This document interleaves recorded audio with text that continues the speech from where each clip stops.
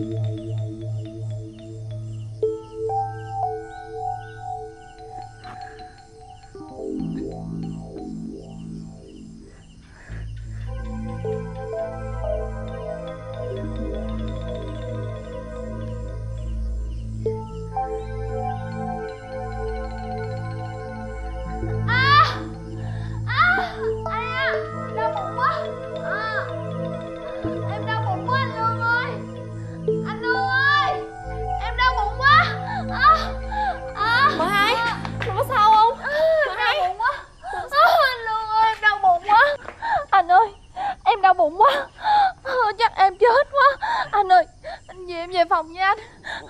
Sao hồi giờ em có đau đâu? Tự nhiên bữa nay em đau bụng vậy?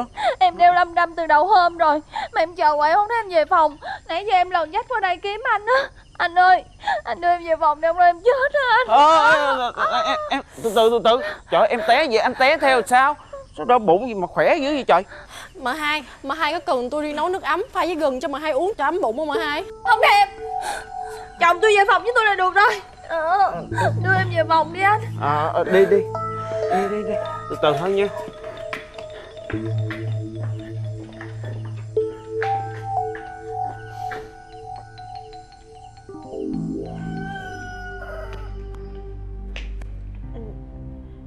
Dạ. Cậu hai mợ hai ơi. Mợ hai ơi, mợ hết đau bụng chưa mợ? Nè Em còn đau bụng lắm. Ở lại đây với em. Nhưng mà con quệ nó kêu mà. Vợ chồng tôi còn đang ngủ. Đừng có làm phiền nữa. Vậy chắc mợ hai hết đau bụng rồi hả? Bay nói ai đau bụng? À, dạ mợ hai bị đau bụng thưa bà. Vậy sao không ai hay biết gì lấy thuốc cho mợ uống hết vậy? Dạ Tại mợ hai nói là để cậu hai chăm cho mợ là được rồi Ừ. Thôi vậy bay xuống bếp Nấu cháo trắng với là thịt kho tiêu cho mợ hai ăn. Đau bụng ăn cháo trắng cho dễ tiêu. Dạ con đi làm liền. À.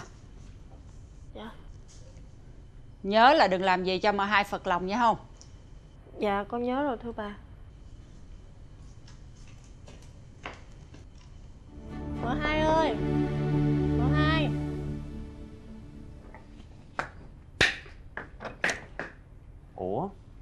quệ Cậu hai. Chị gái đâu mà sao để cho quệ bưng? Dạ bà chủ kêu em nấu cháo trắng thịt kho tiêu cho mợ hai. Ờ ha quệ nấu cái gì á ăn cũng ngon hết.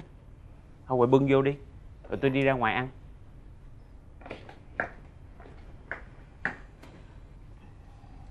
Dạ Mợ hai Em mời mợ hai về ăn cháo. Cả đêm qua tôi đau bụng. Ngủ không được không biết sao Làm sao mà ngồi dậy nổi?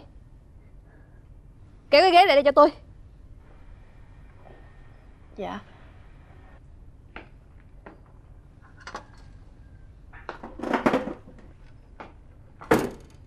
Xin lỗi mợ hai.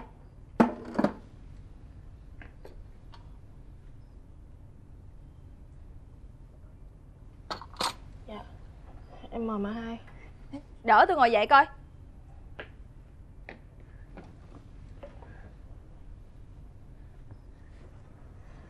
Dạ em mời mợ hai.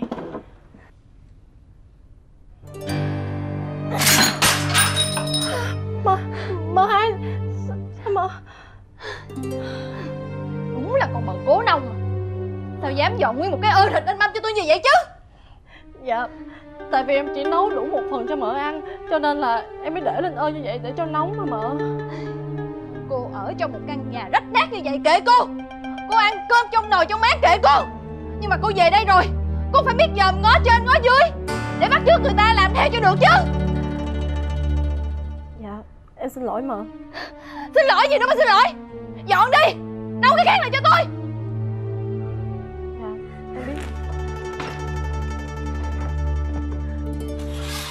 Phim truyện Việt Nam Duyên Kiếp 20 giờ từ thứ hai đến thứ bảy trên truyền hình Vĩnh Long 1 và xem lại độc quyền trên truyền hình Vĩnh Long Y tải app ngay trên Google Play và App Store.